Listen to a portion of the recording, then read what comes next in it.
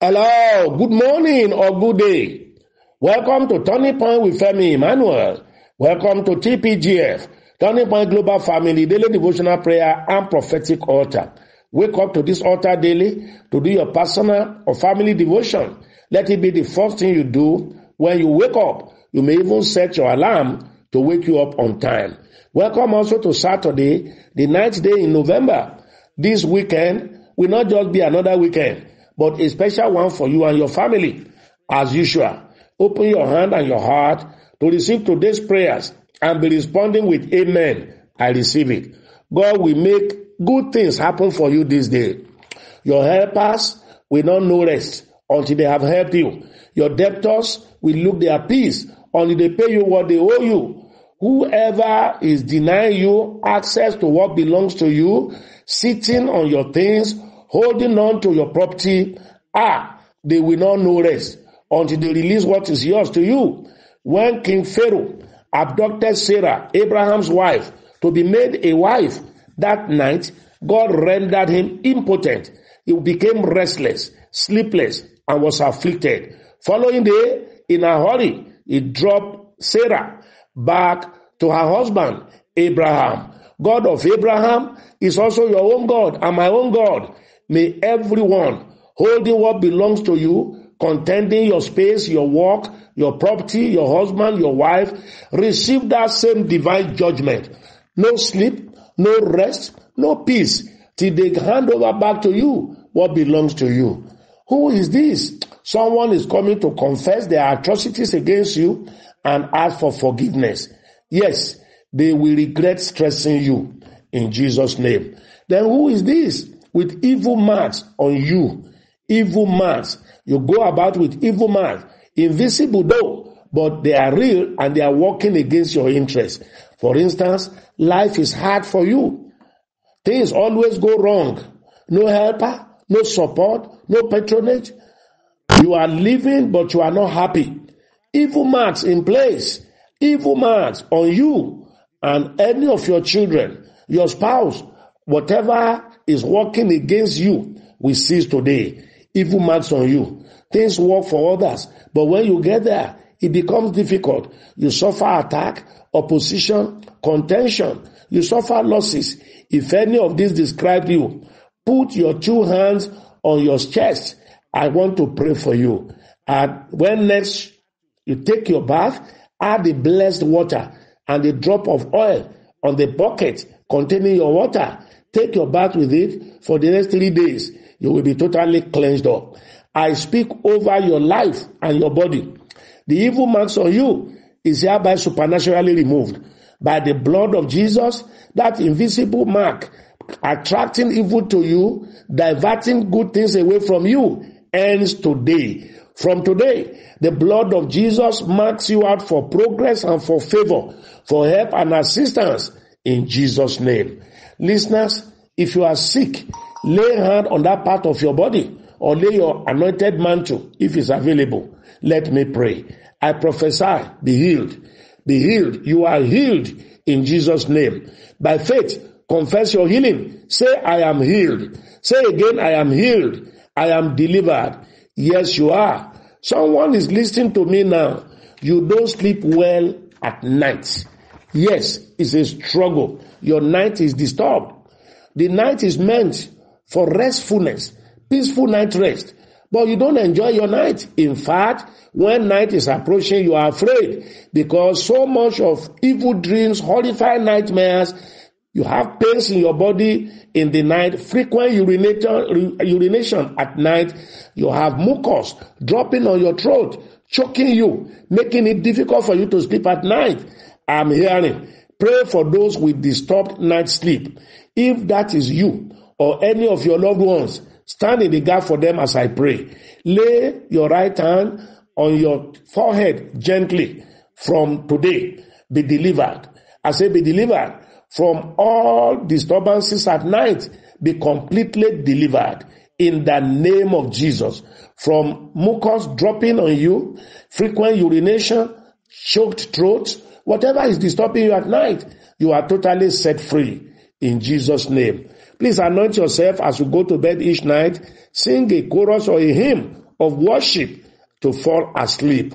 Put your mantle on yourself, sleep well without disturbance again from now on. Say amen. November 9 celebrant.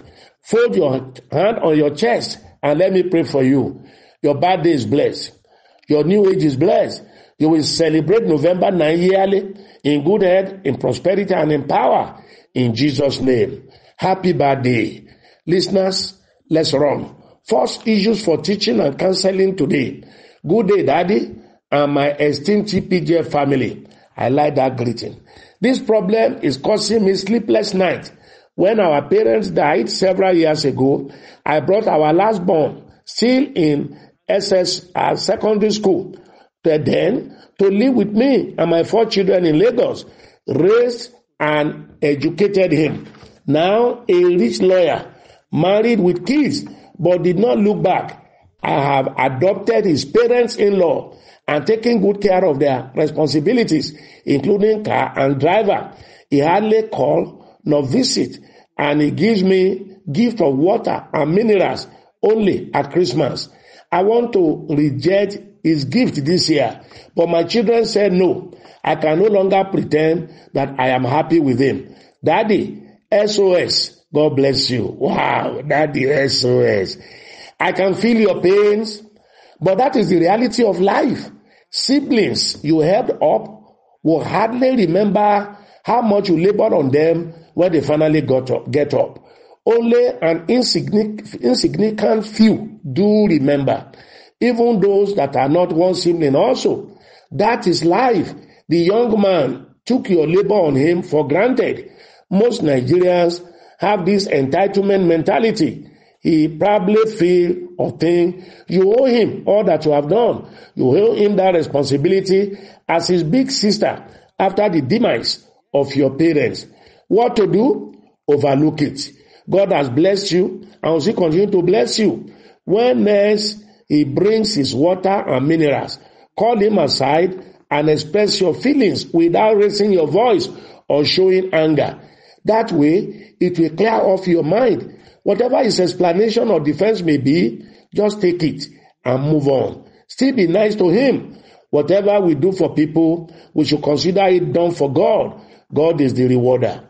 Next, my question is, is it okay for a pastor to visit one of his members and stay there for up to three hours, leaving his wife at home? Wow, certainly not. It appears to me this is a complaint from a pastor's wife. Why not find a good time and engage pastor in a deep conversation over this? It means he is not very busy.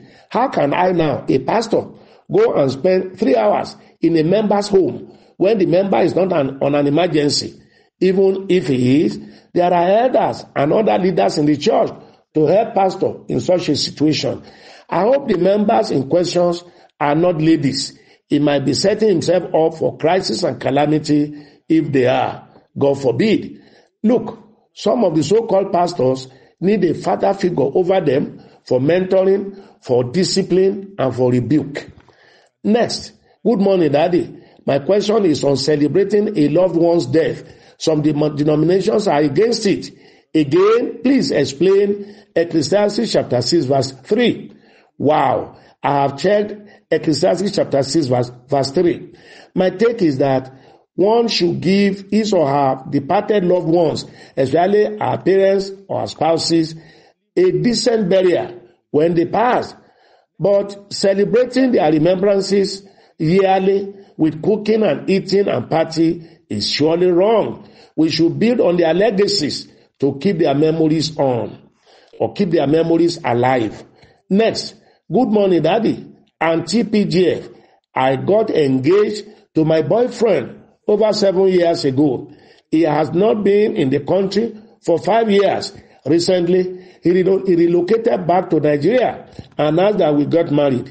I agreed and asked that I, uh, I, uh, he, he knows everyone in my family, but I only know his younger brother and friends. Anytime I ask that we both go and visit his family, he always find a way to avoid the subject. And when I ask, are you running away from your parents? He tells me wisdom is profitable to direct. I don't know what else to do. How can I marry someone who is not comfortable with me meeting his parents? Wow.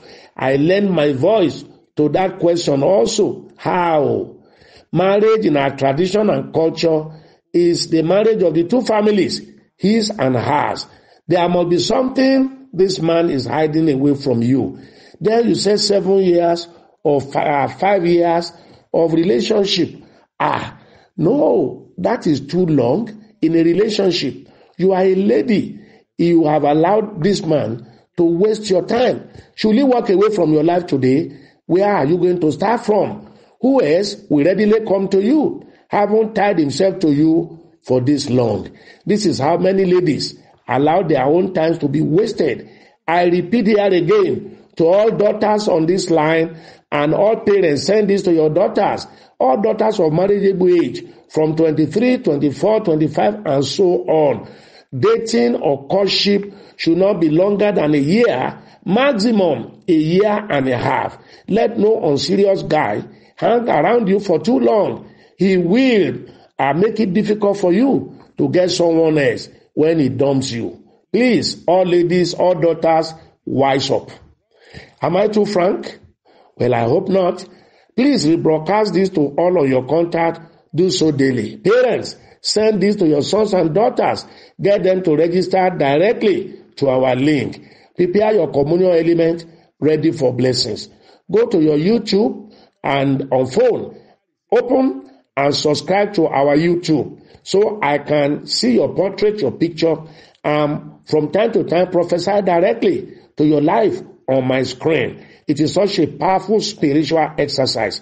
Open your YouTube and simply type at the real Femi Emmanuel. Subscribe and turn on notification. Do so now. Today is a good day to transmit your tithe, personal and corporate tithing, your battle, thanksgiving, partnership commitment, and the 11, 11, 11 seed we are sowing this month. Many have done theirs. Do yours. The Lord will bless you. Now, take the communion and let me pray over it. I pray over that communion. I prophesy healing. I prophesy lifting. I prophesy divine covering. Whatever you attach to this communion, you will uh, exercise dominion in that area. The Lord bless you. Whatever cannot conquer Jesus' blood will not conquer you. Arrows of the enemy will backfire back to the sender. Go out in peace and return in joy every day.